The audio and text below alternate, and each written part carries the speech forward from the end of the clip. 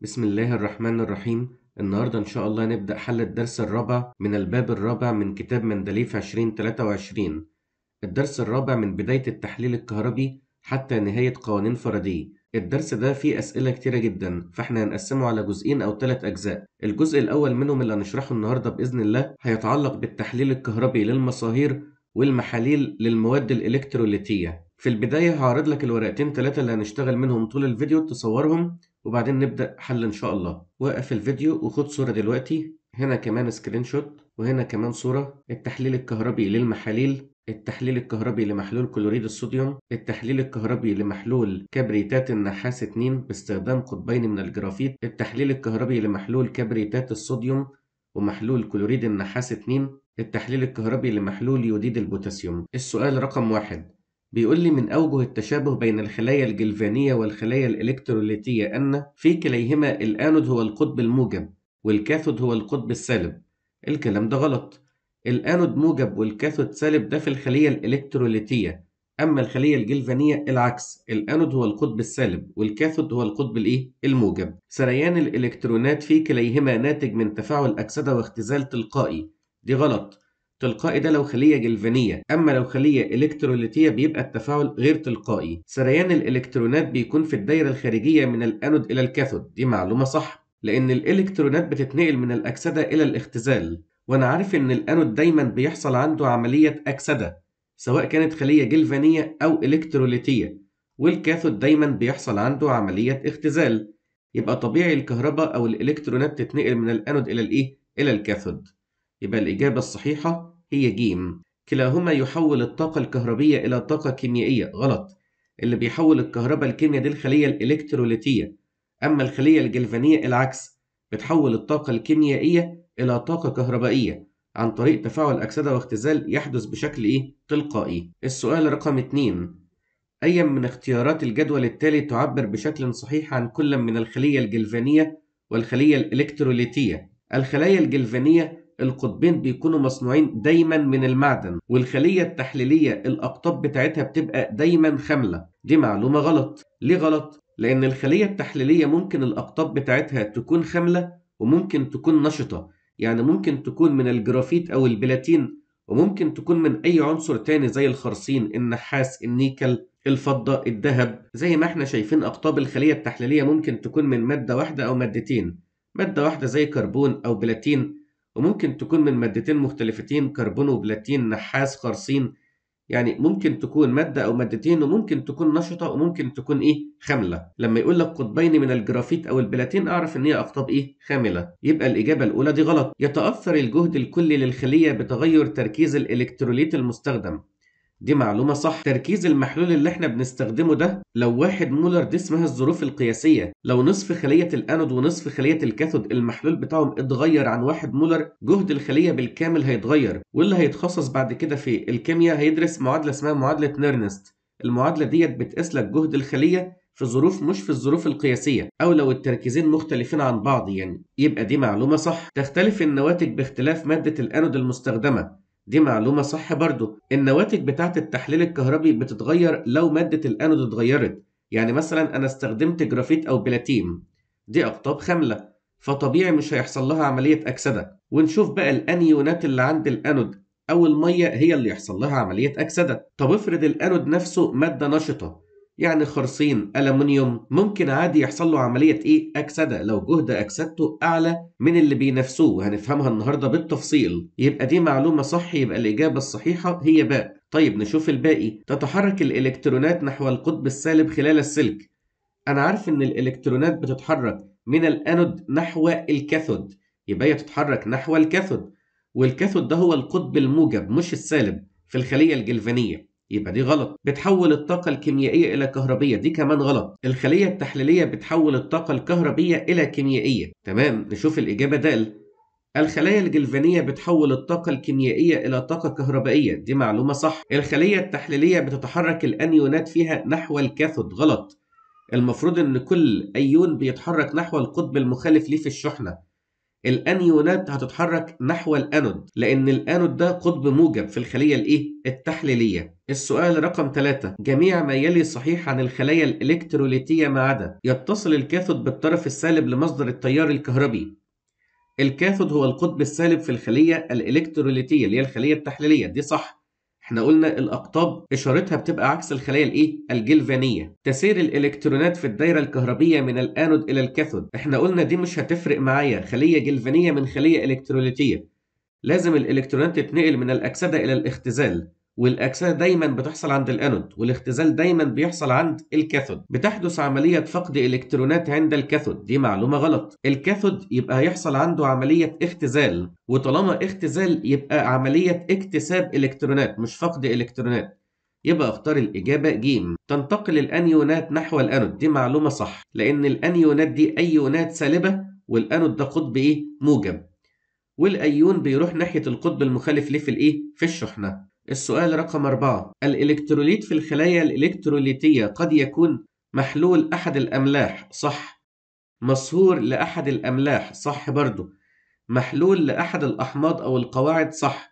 يبقى الإجابة الصحيحة هي د هتلاقيني كاتب لك المادة الإلكتروليتية السائلة اللي هنعمل لها تحليل كهربي ممكن تكون مصهور لأملاح أو محلول لحمض أو قاعدة أو ملح. هي دي الثلاث اختيارات اللي كان جايبهم لك أصلا. يبقى الإجابة إيه؟ جميع ما سبق. السؤال رقم خمسة. أي من المواد التالية تسمح بمرور التيار الكهربي دون حدوث تغير كيميائي؟ أي مصهور أو محلول لو أنت مررت فيه تيار كهربي أكيد هيحصل تحليل كهربي. أنيونات بقى نحو الأنود وكاتيونات نحو الكاثود. أو المية يحصل لها أكسدة أو اختزال. المهم هيحصل تغير كيميائي. أكسدة واختزال. إمتى ما يحصلش تغير كيميائي؟ لو الكهرباء مشت في سلك يعني لو مشت في محلول كبريتات نحاس 2 ده هيحصل تغير كيميائي. وفي مصهور كلوريد النحاس 2 هيحصل تغير كيميائي. والماء المحمض هيحصل تغير كيميائي. أما لو التيار الكهربي مشى في سلك مصنوع من الفضة مش هيحصل تغير كيميائي عادي يعني كهرباء ماشية في سلك. تمام؟ يبقى الإجابة الصحيحة هي ج السؤال رقم 6 أي من العبارات التالية صحيحة عن قطبي الخلايا الإلكتروليتية قد يكونان من مادة واحدة أو كل منهما من مادة مختلفة. لسه شايفينها من شوية في الورق. صح. قلنا الاتنين ممكن يكونوا نفس النوع أو نوعين مختلفين. ممكن يكونوا أقطاب خاملة أو نشطة. دي برضو معلومة صح وشرحناها. الآنود بيكون متصل بالقطب الموجب والكاثود متصل بالقطب السالب للبطارية ودي معلومة برضو صح في الخلية الإيه؟ الإلكتروليتية. يبقى الإجابة الصحيحة هي د جميع ما سبق. السؤال رقم سبعة. المواد التي توصل تيار كهربي عن طريق حركة أيوناتها. هي موصلات. طالما بتوصل عن طريق حركة الأيونات يبقى دي مواد إلكتروليتية. إلكتروليتية موجودة في الإجابة ج طب تعالى نتأكد. المواد اللي بتوصل للتيار الكهربي عن طريق حركة الإلكترونات إلكترونات يبقى فلزية أو إلكترونية. يبقى فعلا الإجابة الصحيحة هي إيه؟ هي ج هتلاقيني مقسم لك الموصلات الكهربية إلى نوعين. إلكترونية أو فلزية أو إلكتروليتية اللي هي أيونية. إلكترونية هي نفسها فلزية. الكهرباء بتمشي عن طريق حركة الإلكترونات في السلك اللي هو سلك النحاس مثلا ماشي فيه كهرباء إلكترونات. موصلات إلكتروليتية اللي هي أيونية. يبقى بتتم عن طريق حركة الأيونات. الأيونات دي في منها نوعين. يا أيونات حرة تبقى في مصاهير يا أيونات مماهة تكون في إيه؟ في محاليل. السؤال رقم 8 الأيونات الموجبة في المحلول الإلكتروليتي في الخلية الإلكتروليتية هتعمل إيه؟ أيون موجب يعني كاتيون أنا قلت الكاتيونات بتروح ناحية مين؟ الكاثود ويحصل لها عملية إيه؟ اختزال اختزال يعني عامل إيه؟ عامل مؤكسد طب اختزال يعني تفقد ولا تكتسب إلكترونات؟ تكتسب إلكترونات يبقى أيونات موجبة اللي هي كاتيونات هتروح ناحية الكاثود وتختزل هو هنا كاتب لي تتأكسد يبقى غلط إحنا قلنا هتروح ناحية الكاثود هو بيقول لي هنا المصعد اللي هو الأنود غلط. هتروح ناحية الكاثود ويحصل لها اختزال يبقى عامل مؤكسد. هنا كاتب عامل مختزل يبقى غلط. طب قلنا هتروح ناحية الكاثود ويحصل لها اختزال يبقى تكتسب إلكترونات. يبقى دي معلومة إيه؟ صح. يبقى تتعادل شحنتها باكتساب إلكترونات. يبقى الإجابة الصحيحة هي باء. وهتلاقيني كاتب لك هنا وتتجه الكاتيونات اللي هي الموجبة. وممكن نسميها الأيونات الفقيرة بالإلكترونات نحو قطب الكاثود ويحدث لها عملية اختزال وتعادل الشحنة بتاعتها عن طريق اكتساب إيه؟ إلكترونات. السؤال رقم تسعة في الخلايا الإلكتروليتية أي الاختيارات التالية صحيحة عن قطب الآنود؟ طالما هي خلية إلكتروليتية يبقى الآنود هو القطب الموجب مش القطب السالب، يبقى الإجابة يا باء يا جيم، وبيحصل عنده عملية أكسدة مش اختزال، يبقى أكيد الإجابة الصحيحة هي باء. وطالما هو شحنته موجبة هيتصل بالقطب الموجب للإيه؟ للبطارية. السؤال رقم 10 أي المواد التالية تسمح بمرور التيار الكهربي دون حدوث تغير كيميائي؟ لسه حالين زيها حالا. ساق من الألمنيوم أكيد صح. التيار الكهربي لما يمشي في سلك ألمنيوم مش هيعمل أي تغير كيميائي، لكن لو أنا مررت الكهرباء في محلول مركز من كلوريد الصوديوم هيبدأ بقى يحصل عملية أكسدة واختزال ويحصل تفاعلات كيميائية وهندرسها دلوقتي بالتفصيل. يبقى دي ما تنفعش.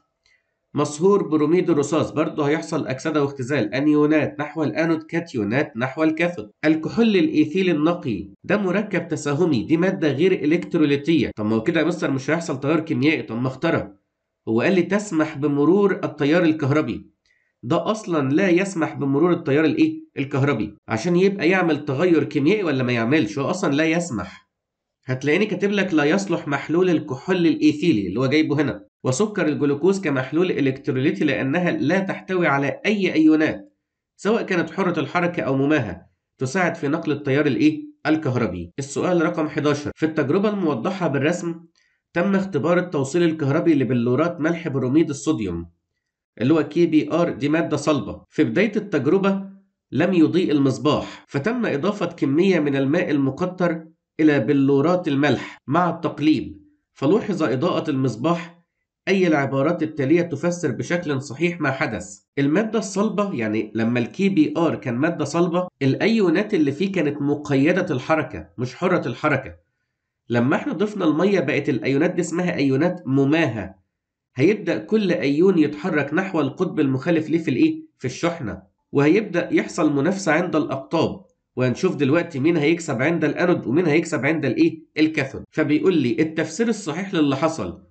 إن اتحركت ذرات البوتاسيوم نحو الكاثود غلط. إحنا لما دوبنا ال KBr في المية ال K دي اسمها أيونات البوتاسيوم مش ذرات البوتاسيوم. تتحرك الإلكترونات خلال محلول KBr في وعاء التفاعل. الإلكترونات مش بتتحرك في المحلول. الإلكترونات بتتحرك في السلك. يبقى السبب هو حركة الأيونات مش الإلكترونات جوه المحلول. تتجه الأيونات المماهة في المحلول. نحو الأقطاب المخالفة ليها في الشحنة. آه دي معلومة صح. لما أنا دوبت بقى ال KBr دي في المية هتديني K موجب و Br سالب. هنا aq وهنا aq هتبدأ بقى كل أيون يروح نحو القطب المخالف ليه في الايه في الشحنة. تتجه الايونات الحرة في المحلول نحو الأقطاب المخالفة لها في الشحنة. دي غلط. أيونات حرة دي يعني مصهور أنا قلت لك أنا حطيت مية يبقى ده إيه؟ محلول مش مصهور يبقى الإجابة الصحيحة هي جيم السؤال رقم 12 قبل ما أشرح السؤال رقم 12 أنا هعمل شرح سريع للتحليل الكهربي للمصاهير والمحاليل بحيث نفهمه ونبدأ نطبق بقى لحد نهاية الفيديو. لو جالك في الامتحان تحليل كهربي لمصهور يبقى تأكد إن الأمور هتبقى سهلة جدا جدا. مصهور يعني أنا عندي مادة صلبة. المادة الصلبة دهيت ما أقدرش أعمل لها تحليل كهربي زي NaCl مثلا لأن الأيونات فيها مقيدة الحركة. عشان تبقى حرة أو مماهة لازم أسخنها وأدوبها في مية. هو قال لي مصهور يبقى سخنها. هتديني أيون موجب وأيون سالب. الكاتيونات تروح ناحية الكاثود ويحصل لها اختزال. والأنيونات تروح ناحية الأنود ويحصل لها عملية إيه؟ أكسدة. أنت كده خلصت المصاهير. يبقى أنيونات اللي هي الكلوريد تروح ناحية الأنود وتفرغ الشحنة بتاعتها. وتعادل الشحنة بتاعتها يعني تتحول إلى جزيء متعادل أهو. يبقى 2 Cl سالب يديلنا Cl 2 مع 2 إلكترون. تيجي الكاتيونات بتاعه الصوديوم تاخد الاثنين إلكترون ده ويتكون الصوديوم عند الإيه؟ الكاثود. يبقى تصاعد غاز الكلور عند الأنود وتكون الصوديوم عند الإيه؟ الكاثود. طيب مصهور بروميد الرصاص. المادة الصلبة ما أعرفش أعمل لها تحليل كهربي. هسخنها تديلنا أيون موجب وأيون سالب. أنيونات نحو الأنود ويحصل لها عملية أكسدة. يبقى تطلع أبخرة البروم عند الأنود. وكاتيونات الرصاص تكتسب الاثنين إلكترون وتترسب على هيئة رصاص عند الكاثود. تمام السؤال اللي بعده. هيدريد الصوديوم NaH هتخلي بالك من المثال ده؟ لأن هنا الهيدروجين بالسالب مش بالموجب. درست في تانية ثانوي إن هيدريدات الفلزات الهيدروجين فيها بيكون عدد تأكسده سالب واحد مش موجب واحد. وعشان كده تعمدت أجيب المثال ده. يبقى هنا الكاتيون هو الصوديوم والأنيون هو الهيدروجين. يبقى الأنيونات هتروح ناحية الأنود ويتصاعد غاز الهيدروجين عند الأنود ويتكون الصوديوم عند الإيه؟ الكاثود نيجي بقى للتعقيد. قال لي بقى لو أنت هتعمل تحليل كهربي لمحلول مش مصهور قال لي ده هيبقى أكثر تعقيدا من المصاهير ليه يا عم؟ قال لي ما هو محلول يعني جبت المادة ودوبتها في مية. المية بقى في الكيمياء ممكن يحصل لها أكسدة وممكن يحصل لها اختزال. يبقى أنت لازم تعرف معادلة أكسدة المية عند الأنود. المعادلة قدامك اهي اكسده اكسجين يبقى تطلع غاز الأكسجين. مع 4 H موجب مع 4 إلكترون يبقى يصبح الوسط حامضي H موجب أهو عند الانود طب أنهي جزء جوه المية اللي اتأكسد حقيقي؟ الأنيون. ما هو الأنيون اللي بيروح ناحية الانود الأنيون اللي جوه المية اللي هو الهيدروكسيد. وده المعادلة بتاعت أكسدة الهيدروكسيد اللي هي تعتبر نفس اللي فوقها بس أنا بفضل بتاعت المية كاملة لأنها بتوضح لك الغاز ونوع الوسط اللي هيتكون. حمضي ولا قاعدي؟ والمية لو حصل لها اختزال هتطلع لي غاز الهيدروجين مع 2 OH سالب يعني هيصبح الوسط قاعدي. طب أنهي جزء جوه المية اللي اختزل؟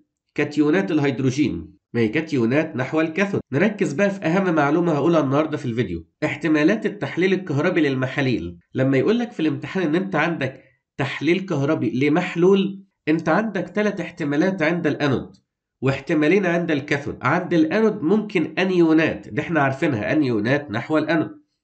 وممكن مية. ما أنا لسه قايل لك المية ممكن تتاكسد ومادة القطب إن لم يكن خاملا يعني مادة القطب نفسها ممكن يحصل لها إكسدة. إلا لو قال قطبين من الجرافيت أو البلاتين يبقى دي أقطاب خاملة يبقى شيل الاحتمال الثالث ده. وعند الكاثود عندك احتمالين كاتيونات نحو الكاثود والمية ممكن يحصل لها اختزال. تعال بقى عند الأنود نشوف مين يكسب. المفروض يكون معاك جهود الاختزال بتاعت كل الأنيونات والمية بتاعت الكيمياء. طب دول مش معاك. المفروض إن الأعلى في جهد الأكسدة هو اللي هيحصل له أكسدة من الثلاثه دول أو الأقل في جهد الاختزال. طيب برضه اعرفها إزاي؟ ريح دماغك. لو لقيت الأنيون اللي عندك كلوريد بروميد يوديد يكسب. يكسب مين؟ يكسب المية. طب لو لقيت الأنيون ده لا هو كلوريد ولا بروميد ولا يوديد يبقى المية هي اللي تكسب. الكلام ده لو القطب إيه؟ خامل. طب لو القطب نشط لا ده هشرحها لك بالتفصيل كمان حصتين كده يعني أو كمان فيديو أو اتنين يعني. طب عند الكاثود كاتيونات ومية مين يكسب؟ عند الكاثود بيحصل اختزال يبقى لازم يكون جهد الاختزال عالي. يبقى شوف جهد الاختزال بتاع المية عالي ولا الكاتيون. طب وأنا اعرفها إزاي؟ لازم تشوف المية فين في السلسلة. للأسف المية مش مكتوبة في السلسلة بتاعت كتاب الوزارة. بس أنا عايزك تعرف مكانها. المية مكانها ما بين المنجنيز والخارصين. يبقى أي كاتيون هيجي لك في الامتحان فوق المية أكيد المية هتكون تحته فالمية هيكون جهد اختزالها عالي فهي اللي تكسب. أي كاتيون يجي لك تحت المية اللي هو من أول الخارصين وتحت لنهاية السلسلة الكاتيون ده هو اللي يكسب. طبعا كتر الحل هو اللي هيفهمك. وزي ما أنت شايف أهو المية ما بين المنجنيز والخارصين بس السلسلة دي مش اللي عليك في الكتاب يعني عموما يعني. يبقى أي حاجة تحت المية اللي هو خارصين كروم تمام؟ اللي هو حديد كادميوم كوبالت نيكل رصاص اللي هو Sn Cu أي حاجة تحت المية تكسب المية. أي حاجة فوق المية المية هي اللي تكسب. ما هو اللي جهد اختزاله أعلى هو اللي يكسب عند الكاثود لأنه هيحصل له اختزال. الكلام اللي أنا بشرحه لك ده لو المحلول مركز طب افرض مخفف جدا. هي مش موجودة في الكتب الخارجية هي موجودة سؤال بس على بنك المعرفة وله طبعا تفسير علمي. لو المحلول مخفف جدا تمام؟ المية اللي هتكسب الأنيون حتى لو الأنيون ده كلوريد وبروميد يعني فاهمين؟ هو كده كده المية اللي إيه؟ اللي هتكسب. ده لو المحلول مخفف جدا. طب ما قاليش مخفف ولا مركز؟ اعتبره مركز. هي كل المحاليل اللي بتجيلك إيه؟ مركزة. كتر الحل هيفهمنا. أنا قلت لك الأساس اللي هنمشي عليه دلوقتي. نرجع للسؤال 12 الشكل التالي يوضح خلية تحليلية ذات أقطاب خاملة وبعد بدء التجربة أضاء المصباح وتجمعت فقاعات غازية عند القطبين. ما هو احتمال المادة X هو بيقول لي إن عند الأنود وعند الكاثود اتكون غاز يعني غاز عند القطبين. تعال نشوف. ده محلول. هنا الأقطاب جرافيت يبقى ألغيها اللي هي كربون. يبقى عند الأنود عندي احتمالين كبريتات ومية. وعند الكاثود عندي احتمالين نحاس وإيه؟ ومية. مين اللي يكسب هنا كبريتات ولا مية؟ أنا قلت لك لو الأنيون كلوريد بروميد يوديد يكسب المية. الكبريتات ما هياش لا كلوريد ولا بروميد ولا يوديد يبقى المية هي اللي تكسب المية لما تكسب عند الأنود هيتصاعد غاز الأكسجين مع 4 H موجب مع 4 إلكترون يبقى تصاعد غاز الأكسجين عند الأنود. نحاس ومية مين يكسب؟ اللي تحت المية يكسب. النحاس تحت المية جهد اختزاله أعلى من المية. أنا قلت لك من أول الخارصين ونازل يكسب المية. يبقى النحاس هنا هو اللي هيكسب. يبقى كاتيونات النحاس 2 هتكتسب 2 إلكترون ويديلنا سي يو يبقى سي يو صلب. يبقى ما طلعش غاز عند الكاثود. هو بيقول لي هنا طلع غاز عند القطبين. يبقى ما ينفعش أختار دي. طيب تعال نشوف هنا. كلوريد الصوديوم. أنا عندي عند الأنود كلوريد ومية. وهنا صوديوم ومية. ما هو ده بيقول لي محلول. مين يكسب كلوريد ولا المية؟ الكلوريد. الكلوريد يكسب المية ويديلنا Cl2 ده غاز الكلور يبقى يتصاعد غاز الكلور عند الأنود. صوديوم ومية مين يكسب؟ المية. زي ما انت شايف اهو صوديوم ومية المية تحت هي اللي تكسب. أما دول كلهم يخسروا من المية اللي تحت المية بس هو اللي يكسبها. يبقى المية هي اللي هتكسب ويحصل لها عملية اختزال ويتصاعد غاز الهيدروجين عند الإيه؟ الكاثود. يبقى طلع لي غازين عند الأنود وعند الكاثود. يبقى الإجابة الصحيحة هي باء. لو انت عايز تشوف الكلام ده بشكل منظم شوف الصورة اللي قدامك دلوقتي. اهو ادى كبريتات النحاس 2 عند الانود بيحصل اكسدة. عندي ثلاث احتمالات كبريتات ومية وقطب. هلغي القطب لأنه خامل. كبريتات ومية المية اللي تكسب. المية لما تكسب يحصل لها عملية اكسدة ويتصاعد غاز الأكسجين ويصبح الوسط حامضي. عند الكاثود هيحصل اختزال وعند احتمالين كاتيونات ومية النحاس تكسب. النحاس يكسب المية ويحصل له عملية اختزال ويترسب النحاس عند الكاثود لما تيجي تجمع التفاعلين شيل 4 إلكترون مع 4 إلكترون. هيديلنا 2 H2O مع 2 Cu موجب 2 يديلنا O2 مع 2 Cu مع 4 H موجب. هتلاقي هنا 4 موجب على اليمين و4 موجب على الشمال. حط لهم أيون متفرج اللي هو موجود في المسألة عشان تظبط شكل المعادلة. السالب الوحيد عندي عشان يعادل الموجب ده في المسألة هو الكبريتات. حط كبريتات هنا وهنا. هتلاقي فجأة المعادلة بقى شكلها كويس معاك كده اللي هو محلول مائي أهو. لكبريتات النحاس 2 لما عملت له تحليل كهربي تصاعد غاز الأكسجين عند الأنود. وترسب النحاس عند الكاثود وأصبح الوسط حامضي لتكون حمض الإيه؟ الكبريتيك. وأدي بتاعت كلوريد الصوديوم. عندي كلوريد ومية وقطب. مين يكسب؟ الكلوريد. يكسب ويتصاعد غاز الكلور عند الأنود. عند الكاثود كاتيونات ومية صوديوم ومية. مين يكسب؟ المية. المية اللي تكسب ويحصل لها اختزال ويتصاعد غاز الهيدروجين ويصبح الوسط إيه؟ قاعدي. شيل 2 إلكترون مع 2 إلكترون. اجمع. 2 Cl مع 2 H2O يديلنا Cl2 مع H2 مع 2 OH سالب. هتلاقي 2 O سالب على اليمين وعلى الشمال حط لهم 2 موجب هنا وهنا اللي هو 2 صوديوم. هتلاقي شكل المعادلة بقى مظبوط. يبقى انت عملت تحليل كهربي لمحلول كلوريد الصوديوم. فتصاعد غاز الكلور عند الأنود وتصاعد غاز الهيدروجين عند الكاثود وأصبح الوسط قاعدي لتكون هيدروكسيد الإيه؟ الصوديوم. انت كنت بادئ بكلوريد صوديوم اللي هو ملح متعادل. يبقى البي اتش بتاعته بسبعة نهيت بإن اي أو إتش اللي هي قاعدة يبقى البي إتش بقت أكبر من إيه من 7 كحول إيثيلي ده أصلا مش هيحصل له تحليل كهربي. مصهور بروميد الصوديوم. هنا مصهور أنيونات نحو الأنود كاتيونات نحو الكاثود.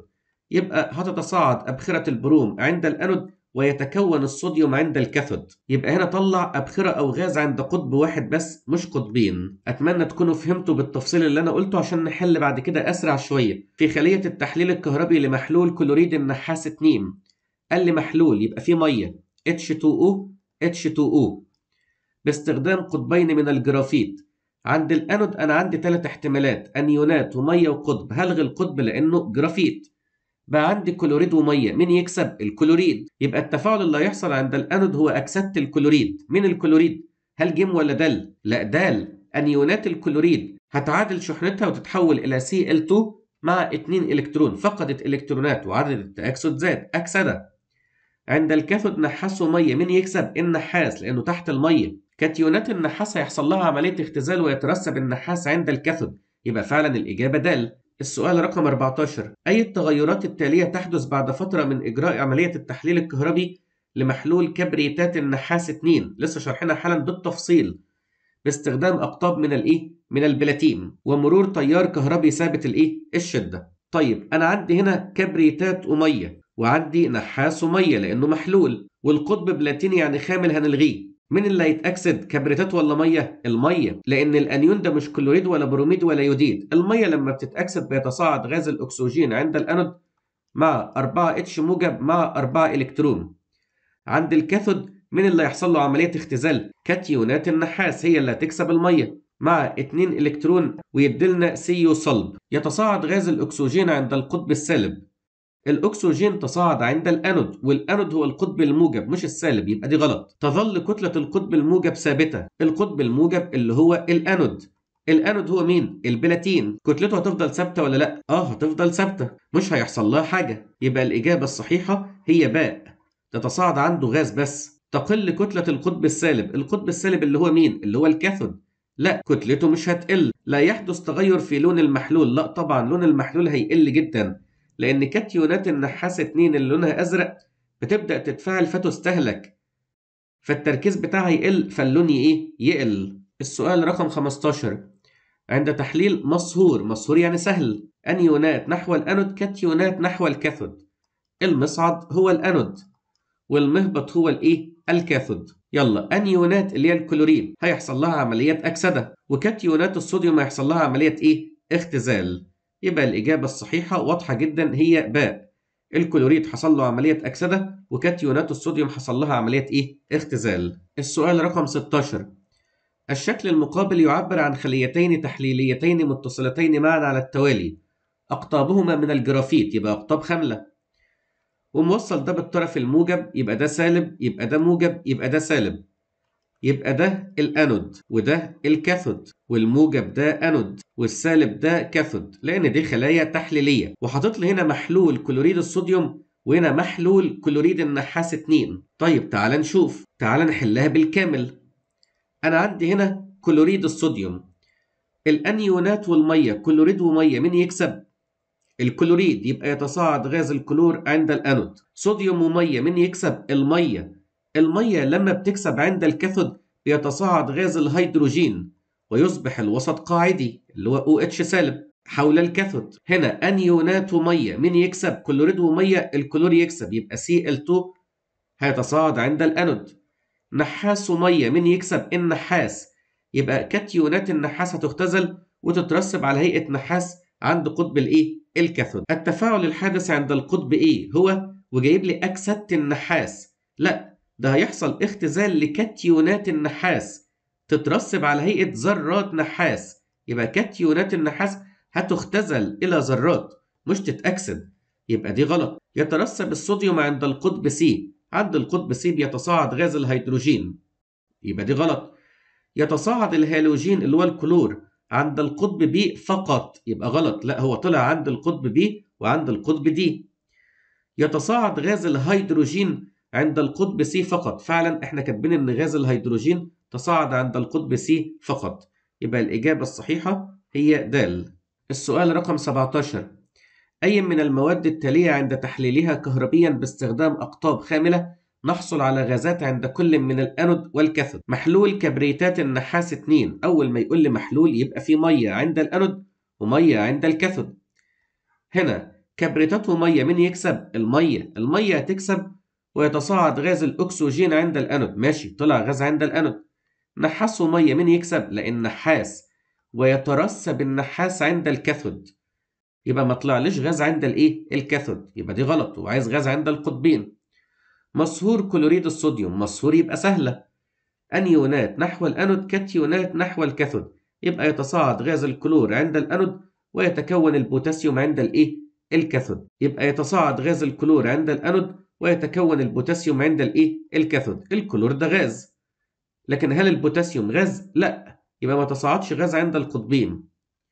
نترات الفضة دي محلول. يبقى أحط مية مية وأشوف مين يكسب. نترته مية لا المية اللي تكسب. ويتصاعد غاز الأكسجين عند الأنود تمام. فضة ومية لا الفضة اللي تكسب. ويترسب الفضة عند الكاثود يبقى ما طلعليش غاز عند القطبين. ماء محمض بحمض الكبريتيك المخفف. حمض الكبريتيك اللي هو H2SO4 عندك H موجب وعندك SO4 سالب 2 انت معاك هنا مية ومعاك هنا إيه؟ مية. كبريتاته ميه مين يكسب؟ المية. يتصاعد غاز الأكسجين عند الأنود. هيدروجين ومية مين يكسب؟ الهيدروجين تحت المية فالهيدروجين يكسب. ويطلع غاز الهيدروجين عند الايه؟ الكاثود يبقى طلع غاز عند القطبين. يبقى الإجابة الصحيحة هي ج السؤال رقم 18 عند تحليل محلول من KCl كهربيا باستخدام أقطاب خاملة. أنا عندي K موجب و Cl سالب. وبيقول لي محلول يبقى أحط هنا مية وهنا مية واشوف مين يكسب. أنا عندي ثلاث احتمالات عند الانود شلت منهم احتمال لأنه قال لي أقطاب إيه؟ خاملة. كلوريد ومية؟ لا الكلوريد يكسب ويتصاعد غاز الكلور عند الانود بوتاسيوم ومية. لا المية هي اللي تكسب. البوتاسيوم فوق المية. المية لما تكسب عند الكاثود بتطلع غاز الهيدروجين مع 2 OH سالب. يعني الوسط بيبقى إيه؟ قاعدي. فبيقول لي يكون المحلول الناتج قاعديا مع تصاعد غازات آه قاعديا اللي هي OH اهو مع تصاعد غازات اللي هو اتش 2 وسي ال 2 يبقى الإجابة الصحيحة هي ألف. السؤال رقم 19 أي المحاليل التالية لا يمكن منها الحصول على غاز الهيدروجين عند التحليل الكهربي لمحلولها باستخدام أقطاب من الجرافيت. قال لي ما ينفعش أحصل منها على هيدروجين. طالب ذكي كده يقول لي إيه؟ يقول لي هو الهيدروجين بنحصل عليه إزاي أصلا؟ لو المية حصل لها عملية اختزال. أشوف إمتى المية ما يحصل لهاش اختزال؟ المية ما يحصل لهاش اختزال لو الكاتيون تحت المية. الصوديوم فوق المية المية لا تكسب. الليثيوم فوق المية المية لا تكسب. المغنيسيوم فوق المية المية لا تكسب. الفضة تحت المية يبقى الفضة هي اللي هتكسب. يبقى هيترسب الفضة عند الكاثود. يعني المية مش هيحصل لها اختزال يبقى مش هيتصاعد غاز الايه؟ الهيدروجين. يبقى الإجابة الصحيحة هي باء. لو عايز يحلها بسرعة يعني. يبقى أول مثال المية يحصل لها أكسدة واختزال اللي هو كبريتات الصوديوم. ونترات الليثيوم المية يحصل لها أكسدة واختزال. ونترات المغنيسيوم المية يحصل لها إكسدة واختزال. نترات الفضة المية يحصل لها إكسدة بس كاتيونات الفضة يحصل لها عملية إيه؟ اختزال. السؤال رقم 20 الخلية التي يزداد فيها تركيز المحلول بانتهاء عملية التحليل الكهربي عند استخدام أقطاب خاملة تحتوي على محلول أنتوا عارفين إن أي محلول في الكيمياء بيبقى مذاب ومذيب. لما أنا أقول لك إن المحلول بقى مركز معناها إن المية اللي جواه قلت. إمتى المية تقل؟ لو حصل لها إكسدة واختزال. دور على محلول المية يحصل لها إكسدة واختزال وقاعدة بتتبخر مش تتبخر يعني تتحول لغازات. تمام؟ فالميه كميتها بتقل والمذاب زي ما هو. فيبقى كده معناها إن المحلول بيبقى أكثر تركيزا يعني بيبقى مركز أكتر. كلوريد الصوديوم. هنا الكلوريد هيحصل له إكسدة مش الميه كبريتات نحاس النحاس يحصل له عملية اختزال اللي هي كاتيونات النحاس مش الميه كاتيونات الفضة هنا يحصل لها عملية إيه؟ اختزال تكسب المية. أما كبريتات البوتاسيوم كبريتات ومية المية تكسب. بوتاسيوم ومية المية تكسب. طالما المية كسبت هنا وهنا يبقى المحلول بقى إيه؟ مركز. يبقى الإجابة الصحيحة هي د أشرح لكم مثال عليها بالتفصيل عشان تفهموها. تعال شوف مثلا المثال اللي قدامك ده التحليل الكهربي لمحلول كبريتات الصوديوم باستخدام قطبين من الجرافيت. كبريتات الصوديوم دي مادة صلبة لا يمكن أقدر أعمل لها تحليل كهربي لأن الأيونات مقيدة الحركة. حطيت عليها مية دابت في المية عملت محلول. بقى عندي أيونات موجبة وأيونات سالبة. عند الأنود عندي ثلاث احتمالات أنيونات ومية وقطب. كبريتات ومية القطب خامل هلغيه. المية تكسب الكبريتات فيحصل لها عملية أكسدة ويتصاعد غاز الأكسجين عند الأنود ويصبح الوسط حامضي عند الأنود يعني حول الأنود ويفقد أربع إلكترونات. عند الكاثود هيحصل اختزال عند احتمالين كاتيونات ومية صوديوم ومية. المية هي اللي تكسب مين؟ الصوديوم لأنها تحته فهي اللي جهد اختزالها أكبر. المية لما يحصل لها اختزال يتصاعد غاز الهيدروجين ويصبح الوسط قاعدي حول الكاثود لما تجمع المعادلتين هيطلع معاك 2 H2O يديلنا 2 H2 مع O2 معناها إن المية قاعدة بتختفي ويحصل لها إكسدة واختزال. وهتلاحظ إن كمية غاز الهيدروجين اللي طلعت ضعف كمية إيه؟ الأكسجين. هتلاقيني كاتب لك أصبح المحلول مركزا في نهاية التحليل لأن المية كميتها قلت لأن حصل لها إكسدة واختزال. أمال فايدة كبريتات الصوديوم دي؟ ده ما عملتش حاجة خالص. ما هي دي اللي ساعدت على نقل التيار الكهربي. ما أنت دارس قبل كده في الباب الثالث إن الماء إلكتروليت إيه؟ ضعيف هيوصل إزاي للكهرباء؟ السؤال 21 عند التحليل الكهربي لخليتين تحليليتين الخلية الأولى بتحتوي على كبريتات النحاس 2 بين أقطاب من الجرافيت والتانية بتحتوي على محلول كلوريد بوتاسيوم بين أقطاب من الجرافيت. عايز قيمة البي اتش لهما بعد حدوث عملية التحليل الكهربي. طيب تعال نشوف. هنا محلول يبقى أحط مية ولسه حلنا النهاردة يجي 3 4 مرات. مية مية. كبريتات ومية مين يكسب؟ المية. هي المية لو حصل لها عملية أكسدة بتتصاعد غاز الأكسجين مع 4 H موجب مع 4 إلكترون يبقى أصبح الوسط حامضي. وهنا كاتيونات النحاس هي اللي هتكسب المية ويحصل لها عملية اختزال ويترسب النحاس عند الكاثود المهم الخلية ده هتبقى إيه؟ في الآخر حامضية لأن هيتكون حمض الكبريتيك وشرحتها لك قبل كده في الورق. وطالما تكون حمض يبقى البي اتش هتقل. هتقل مش موجودة عندي إلا في الإجابة باء. تمام؟ طيب عايز أتأكد. محلول كلوريد البوتاسيوم. محلول يعني في مية. حط مية عند الأنيونات ومع الكاتيونات وشوف مين يكسب. كلوريد ومية. لا الكلوريد يكسب. الكلوريد يكسب ويتصاعد غاز الكلور عند الإيه؟ الأنود مع 2 الكترون بوتاسيوم ومية. مين يكسب؟ لا المية. لأن جهد اختزال المية أعلى من البوتاسيوم. المية لما يحصل لها عملية اختزال بتطلع لي غاز الهيدروجين مع 2 OH سالب. ما إحنا قلنا في بداية الفيديو معادلات الاكسدة والاختزال بتاعة المية. يبقى طلعت لي وسط إيه قاعدي. يبقى البي اتش هتزيد فعلا كاتب لي إيه؟ تزداد. السؤال 22 تم إجراء عملية التحليل الكهربي لمحلول كبريتات النحاس 2 باستخدام أقطاب من الجرافيت ومصدر كهربي. شرحناه النهارده ست سبع مرات. كبريتات وبقول لي محلول. يبقى مية وهنا مية. ماشي. كبريتات ومية. مين يكسب؟ المية. المية لو كسبت هيتصاعد غاز الأكسجين عند الانود ويصبح الوسط حامضي. نحاس وميه مين يكسب كاتيونات النحاس. هتكتسب الاتنين إلكترون ويترسب النحاس حول الكاثود بيقول لي عند القطب الموجب اللي هو الأنود. إيه اللي هيحصل؟ قلنا هيتصاعد غاز الأكسجين. يبقى تتجمع فقاعات من غاز عديم اللون اللي هو غاز الأكسجين. يبقى الإجابة هتكون يا ألف يا باء. المحلول الإلكتروليتي. هل لونه مش هيتغير ولا هيبدأ لونه يختفي. هيبدأ لونه يختفي. لأن كاتيونات النحاس 2 انت عارف إن لونها أزرق. وبدأ يحصل لها عملية اختزال فبدأت تتفاعل فتستهلك فتركيزها يقل فاللون يقل. يبقى بيبدأ يختفي اللون الإيه؟ الأزرق أو يبهى والقطب السالب اللي هو الكاثود هيبدأ يترسب عليه النحاس فتزداد كتلة قطب الإيه؟ الكاثود. يبقى الإجابة الصحيحة هي ألف. السؤال 23 بالتحليل الكهربي لمحلول مركز من ال NaCl باستخدام أقطاب من البلاتين يبقى أقطاب خاملة. بيقول البي اتش هيحصل له إيه؟ طيب أنا عندي كلوريد ومية وعندي صوديوم ومية. نشوف مين يكسب. الكلوريد ولا المية؟ الكلوريد. أقول له 2 Cl سالب. هيتأكسد يدلنا Cl2 مع 2 إلكترون. يبقى يتصاعد غاز الكلور عند الأنود صوديوم ومية. مين يكسب؟ المية. المية اللي يحصل لها عملية اختزال. ويتصاعد غاز الهيدروجين عند الكاثود مع 2 OH سالب. يبقى المحلول بقى إيه؟ قاعدي. يبقى البي اتش هيحصل لها إيه؟ تزيد. حتى قلت لك في النهاية هيكون ان اي أو اتش وهو بادئ Cl يعني كان بادئ بمتعادل ونهى بايه بقاعدي. وشرحت لك في الورق من شوية. السؤال 24 الشكل المقابل يوضح عملية التحليل الكهربي لمحلول KI باستخدام قطبين من الايه؟ من الجرافيت ده القطب الموجب اللي هو الأنود وده القطب الايه؟ السالب اللي هو مين؟ الكاثود. عند الأنود أنا عندي أنيونات اللي هي اليوديد وعندي مية. وعند الكاثود عندي كاتيونات اللي هو ال K موجب وعندي مية. نشوف مين يكسب. يوديد ومية. مين يكسب؟ اليوديد. إحنا قلنا كلوريد بروميد يوديد يكسب.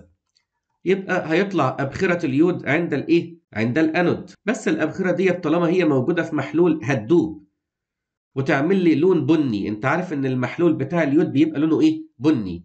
يبقى يتلون المحلول باللون البني عند الإيه؟ عند الأنود. أنت عارف إن اليود لونه بني من الباب الثاني كمحلول. الكاثود كاتيونات ومية. بوتاسيوم ومية. مين يكسب؟ المية. المية اللي يحصل لها عملية اختزال. ويتصاعد غاز الهيدروجين ويصبح الوسط إيه؟ قاعدي.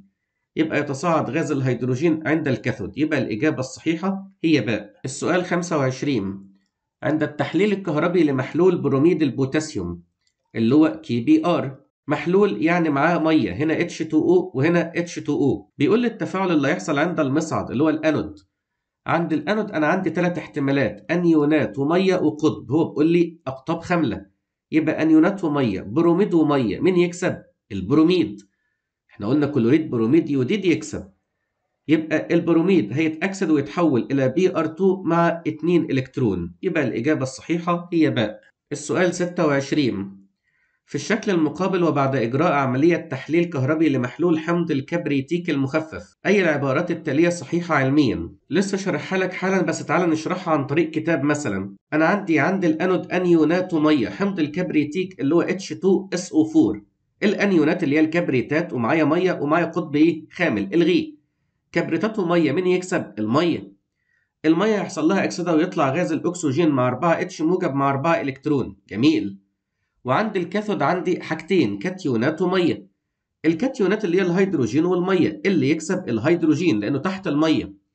هيحصل له عملية اختزال ويتصاعد غاز الإيه؟ الهيدروجين. تساوي عدد الإلكترونات المفقودة بالمكتسبة وتجمعهم مع بعض. هيطلع لك في الآخر 2 H2O يدلنا O2 مع 2 H2 يعني طلع حجم غاز الإيه؟ الهيدروجين. ضعف حجم غاز الأكسجين لأن هنا 2 مول وهنا 1 مول. وخلي بالك إن الأربعة اتش اللي طلعوا هنا استهلكوا هنا. فتعتبر عدد مولات حمض الكبريتيك تقريبا ثابت. يبقى المعادلة الكلية 2 H2O هيدلنا 2 H2 مع O2 والأكسجين ده كان تصاعد عند الأنود والهيدروجين كان تصاعد عند الإيه؟ الكاثود. بيقول لي تكون النسبة بين حجم غاز الأكسجين إلى حجم غاز الهيدروجين 2 لواحد. يعني الأكسجين 2 والهيدروجين واحد. أقول له غلط العكس. تتجمع فقاعات من غاز الهيدروجين عند القطب الموجب. أنا قايل الهيدروجين تصاعد عند الكاثود اللي هو القطب السالب. يبقى دي غلط. وبعدين واضح جدا أبصوا كده الحجم بتاع ده ضعف الحجم بتاع ده.